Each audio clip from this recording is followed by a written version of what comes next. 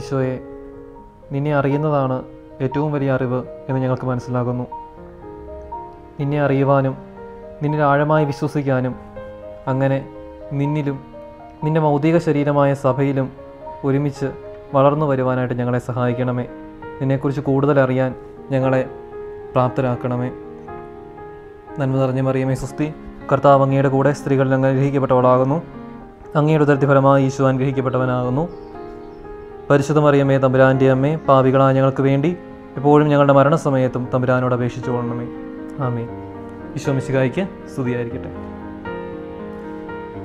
നമ്മളിന്ന് രണ്ടാം പാഠമാണ് പഠിക്കുന്നത്. സഭ രക്ഷിക്കപ്പെട്ടവരുടെ സമൂഹം.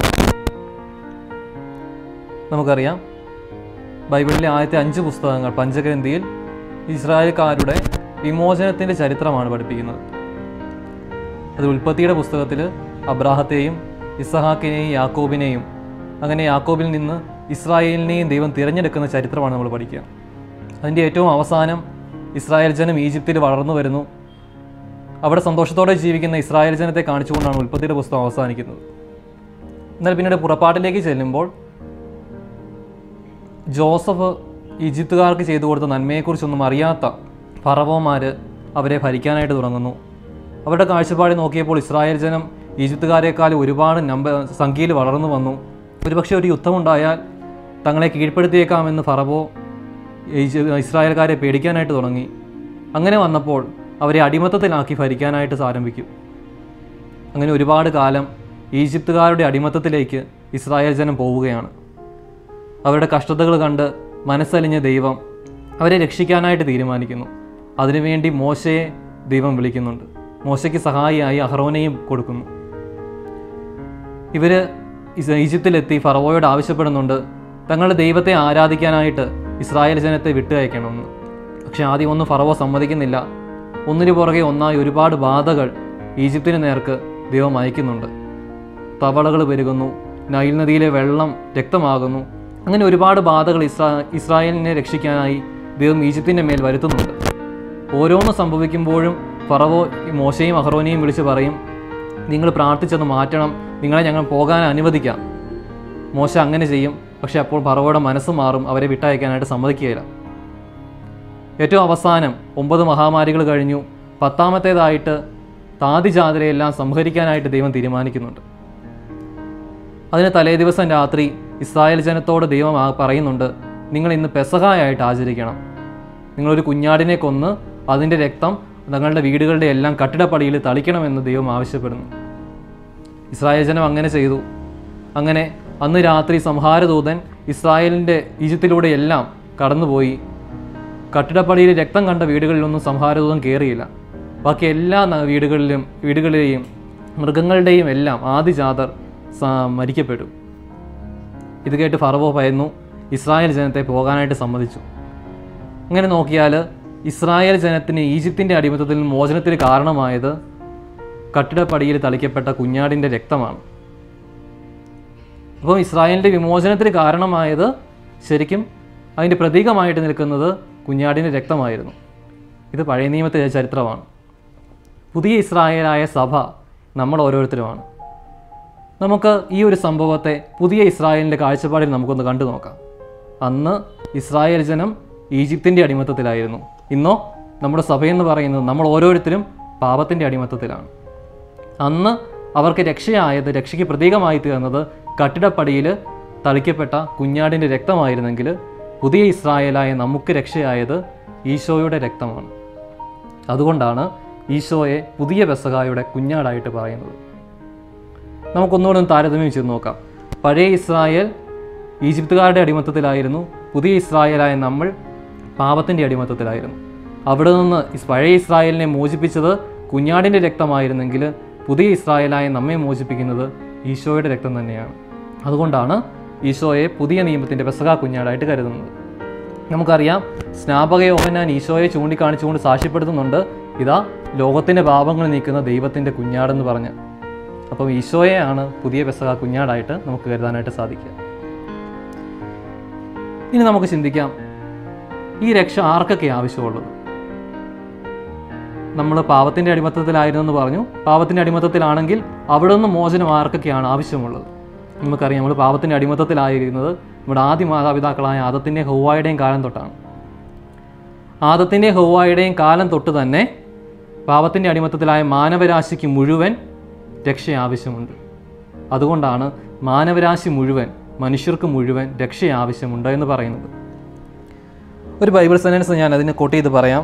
വിശുദ്ധ പൗലോസ് ലീഹ റോമായിലെ സഭയ്ക്ക് എഴുതിയ ലേഖനം മൂന്നാം അധ്യായം പത്താം വാക്യത്തിൽ പറയുന്നുണ്ട് നീതിമാനായി ആരുമില്ല ഒരുവൻ പോലുമില്ല.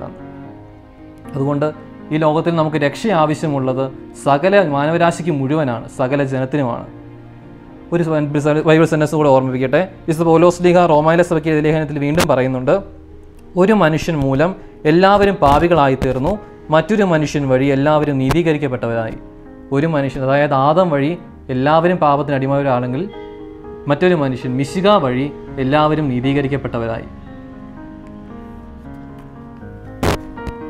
അപ്പം ഈശോയുടെ രക്തം വഴിയാണ് ഈശോയിലൂടെയാണ് നമുക്ക് രക്ഷ നേടിയെത്തുന്നത് ഇനി ആ രക്ഷ സ്വന്തമാക്കാനായിട്ട് ഞാൻ എന്താ ചെയ്യേണ്ടത്?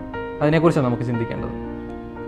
ഇസ്രായേൽ ജനം ഈജിപ്തിൽ നിന്ന് രക്ഷപ്പെട്ട് ചെങ്കടലൊക്കെ കടന്ന് സീനായ് മലയുടെ അടിവാരത്തിലെത്തിയപ്പോൾ ദൈവവും ഇസ്രായേൽ തമ്മിൽ ഒരു ഉടമ്പടി ചെയ്യുന്നുണ്ട്. സീനായ് മലയിൽ വെച്ചിട്ട്. അന്ന് ദൈവം പറയുന്നത് ഇങ്ങനെയാണ്. പുറപ്പാടിന്റെ പുസ്തകം പത്തൊമ്പതാം അധ്യായം അഞ്ചാം വാക്യം എന്റെ വാക്ക് കേൾക്കുകയും എന്റെ കൽപ്പന പാലിക്കുകയും ചെയ്താൽ നിങ്ങൾ എന്റെ സ്വന്തം ജനമായിരിക്കും. അതായിരുന്നു ഉടമ്പടിയുടെ വ്യവസ്ഥ. ദൈവത്തിന്റെ സ്വന്തം ജനമായിരിക്കുക എന്നതാണ് രക്ഷ. അങ്ങനെയാണെങ്കിൽ രക്ഷ നേടാനായിട്ട് ദൈവം പറയുന്നത് എന്റെ വാക്ക് കേൾക്കുക എന്റെ കൽപ്പനകൾ പാലിക്കുക.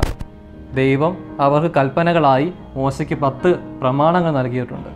അതായത് പഴയ ഉടമ്പടിയുടെ വ്യവസ്ഥ എന്ന് പറയുന്നത് പത്ത് കൽപ്പനകളായിരുന്നു.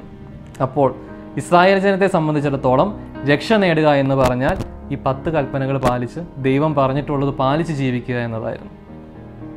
അപ്പോൾ രക്ഷയ്ക്കുള്ള വ്യവസ്ഥയായി പഴയ നിയമത്തിൽ ചൂണ്ടിക്കാണിക്കുന്നത് ഈ പത്ത് കൽപ്പനകളാണ്.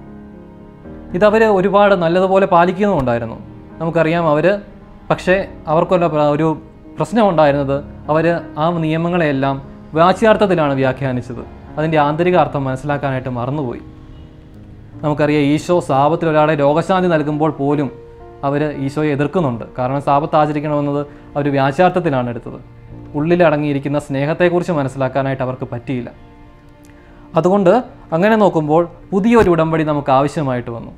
പുതിയ പഴയ ഉടമ്പടി പത്ത് കൽപ്പനകളായിരുന്ന വ്യവസ്ഥയെങ്കിൽ പുതിയ ഉടമ്പടിയിലേക്ക് വരുമ്പോൾ അതിന്റെ വ്യവസ്ഥയായിട്ട് പുതിയ ഉടമ്പടി എന്ന് പറയുന്നത് ഈശോയുടെ പ്രമാണങ്ങൾ തന്നെയാണ്. ഈശോ അന്ന് അന്ത്യത്യാഴ്വേലയിൽ ഈശോ നമുക്ക് നൽകുന്ന കൽപ്പന ഞാൻ നിങ്ങളെ സ്നേഹിച്ചതുപോലെ നിങ്ങളും പരസ്പരം സ്നേഹിക്കുമെന്നാണ് അപ്പോൾ രക്ഷയ്ക്കുള്ള വ്യവസ്ഥയായിട്ട് നമുക്കും ഇന്ന് കാണിച്ചു തരുന്ന പുതിയ കൽപ്പന സ്നേഹത്തിന്റെ പ്രമാണമാണ്. അപ്പോൾ എങ്ങനെയാണ് ഞാൻ രക്ഷ നേടേണ്ടത് എന്നതിന്റെ അർത്ഥം ഈശോ കാണിച്ചു തന്ന സ്നേഹത്തിന്റെ പ്രമാണം പാലിക്ക് പാലിക്കുക എന്നതാണ്. അപ്പം രക്ഷയുടെ വ്യവസ്ഥയായിട്ട് നമുക്ക് പറയാനുള്ളത് കൽപ്പനകൾ പാലിക്കുക എന്നതാണ്. ഇനി നമുക്ക് പഠിക്കേണ്ടത് ഈശോയുടെ രണ്ട് സവിശേഷതകളെക്കുറിച്ചാണ്. ഈശോയാണ് നമുക്ക് രക്ഷ നേടി തന്നതെന്ന് പറഞ്ഞു. ആ രക്ഷയുടെ രണ്ട് സവിശേഷതകൾ ഈശോയെ ബേസ് ചെയ്ത് ഒന്ന് ഈശോ ലോകരക്ഷകനാണ്. രണ്ട് ഈശോ ഏകരക്ഷകനാണ്. ഈശോ ലോകരക്ഷകനാണ്. നമുക്കറിയാം ആദ്യ മാതാപിതാക്കളുടെ കാലം മുതൽ പാപത്തിന്റെ അടിമത്തത്തിലായിരുന്നു മാനവരാശി മുഴുവൻ.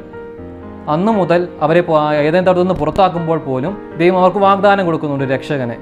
കായേന്റെയും ആബേലിന്റെയും ഒക്കെ സംഭവത്തിൽ കായേനെ ശിക്ഷിക്കുമ്പോൾ പോലും ദൈവ വാഗ്ദാനം കാണും നൽകുന്നതായി കാണാം. പഴയ നിയമ ചരിത്രം മുഴുവൻ ഈ രക്ഷകനെക്കുറിച്ചുള്ള വാഗ്ദാനമാണ്. പക്ഷേ രക്ഷകനായ ഈശോയെ അവരൊരിക്കലും ഒരു കാലിത്തൊഴുത്തിലല്ല പ്രതീക്ഷിച്ചിരുന്നത്. അതുകൊണ്ടാണ് കാലിത്തൊഴുത്തിൽ പിറന്ന ഈശോയെ അവർക്ക് മനസ്സിലാക്കാനായിട്ട് പറ്റാതെ പോയത്. ഈശോ ജനിച്ചത് ഏതെങ്കിലും ഒരു രാജ്യത്തെയോ ഒരു ദേശത്തെയോ ജനങ്ങളെ മാത്രം രക്ഷിക്കാനല്ല ലോകത്തെ മുഴുവൻ രക്ഷിക്കാൻ വേണ്ടിയായിരുന്നു. മൂന്ന് സംഭവങ്ങളാണ് ഞാൻ അതിനു വേണ്ടി ഉദാഹരണമായിട്ട് പറയുന്നത്. ഒന്ന് ഈശോ ജനിച്ച് ഈശോയ്ക്ക് ഈശോ എന്ന് പേരിടണമെന്ന് യൗസേ പിതാവിനോട് ദൈവ സ്വപ്നത്തിൽ ദൈവദൂതൻ ആവശ്യപ്പെടുന്നുണ്ട്. ഇങ്ങനെ പറഞ്ഞുകൊണ്ടാണ് ആവശ്യപ്പെടുന്നത്. മത്തായിയുടെ സുവിശേഷം ഒന്നാം അധ്യായം ഇരുപത്തി ഒന്നാം വാക്യം അവൻ തന്റെ ജനത്തെ അവരുടെ പാപങ്ങളിൽ നിന്ന് മോചിപ്പിക്കും. അപ്പോൾ പാപമോചനം വഴിയുള്ള രക്ഷയാണ് നൽകുന്നതെന്ന് ഇവിടെ സൂചിപ്പിക്കുന്നുണ്ട്. രണ്ടാമത്തെ സംഭവം ഈശോയുടെ ജനനവാർത്ത അറിയിച്ചുകൊണ്ട് ആട്ടിടയന്മാർക്ക് പ്രത്യക്ഷപ്പെടും മാലാഹമാർ പ്രത്യക്ഷപ്പെടുമ്പോൾ അവരോട് പറയുന്നത് ഇങ്ങനെയാണ് ദാവീദിന്റെ പട്ടണത്തിൽ നിങ്ങൾക്കായി ഒരു രക്ഷകൻ ജനിച്ചിരിക്കുന്നു എന്നാണ്. രക്ഷകനെക്കുറിച്ചുള്ള സൂചനയാണ് അവിടെയും. മൂന്നാമത് ഈശോയെ ദേവാലയത്തിൽ കാഴ്ചവെക്കാനായിട്ട് മാതാവും യോസേപിതാവും കൂടെ കൊണ്ടുപോകുമ്പോൾ പ്രവാചകനായ ശിമിയോൻ ഈശോയെ കൈകളിൽ എഴുതിയിട്ട് ദൈവത്തോട് നന്ദി പറയുന്ന ഇപ്രകാരമാണ് സകല ജനത്തിനു വേണ്ടി നീ തയ്യാറാക്കിയിരിക്കുന്ന രക്ഷ എന്റെ കണ്ണുകൾ കണ്ടു കഴിഞ്ഞു. ഈ മൂന്നും സൂചിപ്പിക്കുന്നത് ഈശോ പാവമോചനത്തിലൂടെ സകല ജനത്തിന് നൽകാനുള്ള രക്ഷയെക്കുറിച്ചാണ്. അങ്ങനെയാണെങ്കിൽ ഇവിടെയെല്ലാം ഈശോ ലോകത്തെ മുഴുവൻ രക്ഷിക്കുന്നവനായിട്ടാണ് മാനവരാശിയെ മുഴുവൻ രക്ഷിക്കുന്നവനായിട്ടാണ് കാണിക്കുന്നത്. ഈശോ തന്റെ പീഡാനുഭവവും മരണവും ഉത്ഥാനവും വഴി അത് ഈ വാഗ്ദാനങ്ങളെല്ലാം പൂർത്തിയാക്കുകയും ചെയ്തു. അതുകൊണ്ടാണ് ഈശോയെ ലോകരക്ഷകനായിട്ട് നമ്മൾ പറയുന്നത്.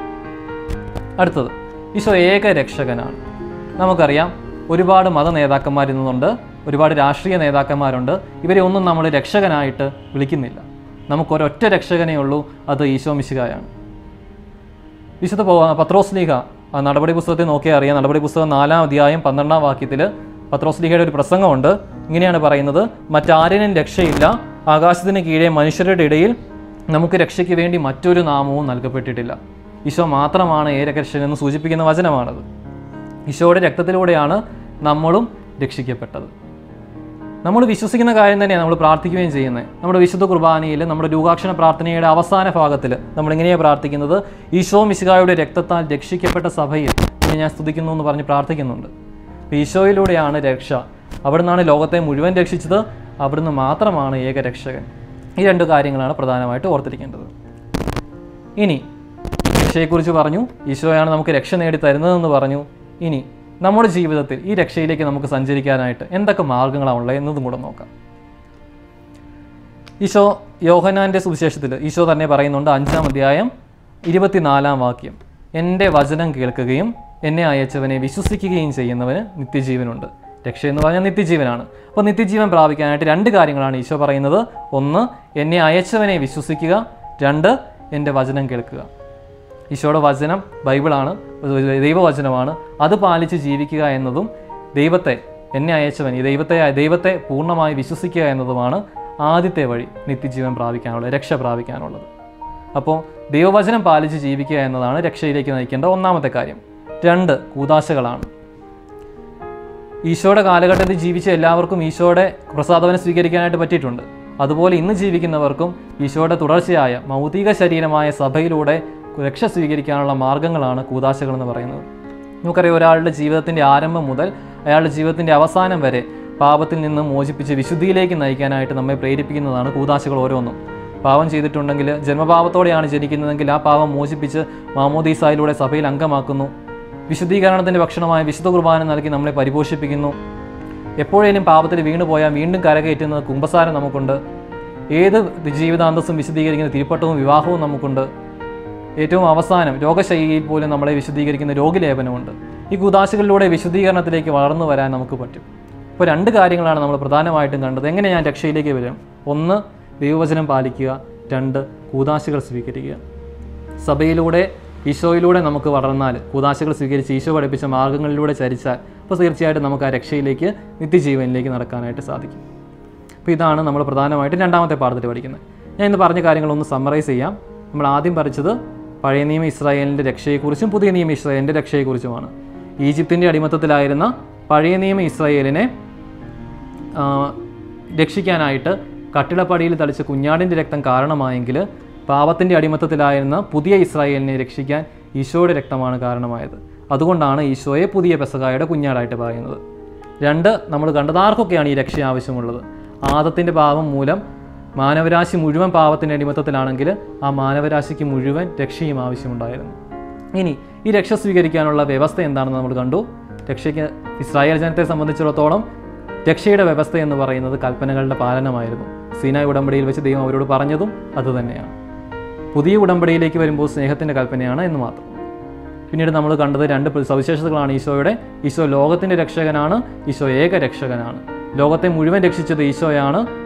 ഏക രക്ഷകൻ അതായത് വേറെ ആരും രക്ഷയില്ല. പത്രോസ്ലിക പത്രോസ്ലിക പറയുന്നത് പോലെ മറ്റാരേലും രക്ഷയില്ല. ആകാശത്തിന് കീഴെ മനുഷ്യരുടെ ഇടയിൽ രക്ഷയ്ക്കായി വേറൊരു നാമവും നൽകപ്പെട്ടിട്ടില്ല. ഈ രണ്ട് കാര്യങ്ങൾ.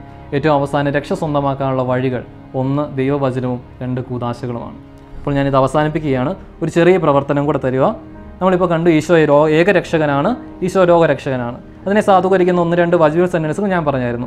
നിങ്ങൾ ഒന്ന് രണ്ടെണ്ണം കൂടെ കൂടുതൽ കണ്ടുപിടിക്കണം. ഇതിനെ സാധൂകരിക്കുന്ന ഒരു മൂന്ന് ബൈബിൾ കൊട്ടേഷനുകൾ സെന്റൻസ് വിത്ത് കൊട്ടേഷൻ എഴുതിയിട്ട് ഈശോ ലോകരക്ഷകനാണെന്ന് സാധൂകരിക്കുന്നത് വേണം ഈശോ ഏകരക്ഷകനാണെന്ന് സാധൂകരിക്കുന്നത് വേണം. ഇത് രണ്ടും ഒരുമിച്ച് അയച്ചു തരാനായിട്ട് ശ്രദ്ധിക്കണേ. നമുക്ക് പ്രാർത്ഥനയോടെ ഒന്ന് അവസാനിപ്പിക്കാം. ഈശോയെ അങ്ങേ കൂടുതൽ അറിയുവാനും അങ്ങയിൽ കൂടുതൽ സ്നേഹിക്കുവാനും അങ്ങയുടെ മൗതിക ശരീരമായ സഭയോടൊത്ത് സഞ്ചരിക്കുവാനും ഞങ്ങളെ പ്രാപ്തരാക്കണമേ അങ്ങനെ വിശുദ്ധിയിൽ വളർന്നു വരുന്ന നല്ലൊരു തലമുറയായിട്ട് മാറാൻ ഞങ്ങളെ സഹായിക്കണമേ. ആമേ